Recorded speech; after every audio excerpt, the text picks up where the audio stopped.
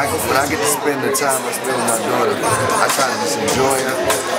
I try to teach her, you know, what I think is, is the right things in life, the values, and you know, being in hip hop, I let her listen to hip hop. We listen to the radio. I hear in the daytime people talking about doing stuff that I wouldn't want her to do at the age of 14. But, but I also hope I'm instilling in her enough strength and enough knowledge to know that she's not the one that should be doing it.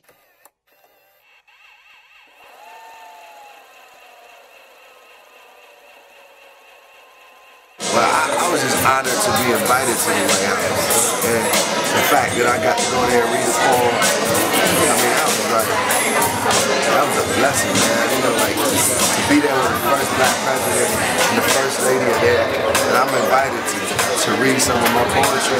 Like, how much more honor could I get as an artist, you know, like, for that? Like, I, I just felt grateful. And all the hoopla that was going on, I didn't, I didn't, like, subscribe to it too stuff ain't true, you ain't be like, oh.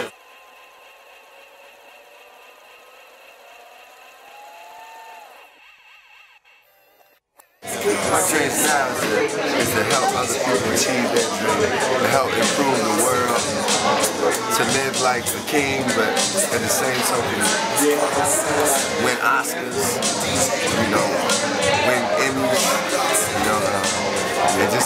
family and live a great life.